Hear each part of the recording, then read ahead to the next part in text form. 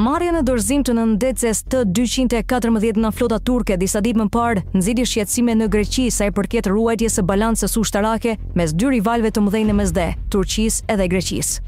Grekët zotërojnë prej vitesh këtë nëndetëse e cila është versioni për eksportin e Gjermanisë për këtë kategori nëndetësesh. Megjithatë, pasiguria është rritur për shkak të investimeve të mëdha turke në drejtim të prodhimeve të anijeve ushtarake. Marina greke nuk është e shqetësuar për nëndetëset në fjalë pasi tani zotëron katër prej tyre, ndërkohë që turqit kanë vetëm një. Megjithatë, problemi nis në sipërfaqen e detit ku grekët kanë fregata të vjetëruara, kurse turqit kanë prodhuar tashmë anijet e tyre.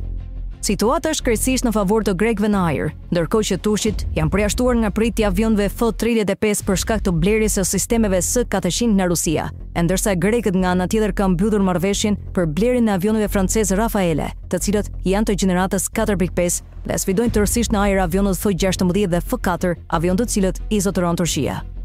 Turqit kanë kërkuar rikthimin e projektit F tridhjetë e pesë duke premtuar magazinimin e sistemeve S katërqind, por vendimi për rikthimin duhet të merret nga Senati amerikan dhe kjo kërkon kohë dhe mjaft lobim.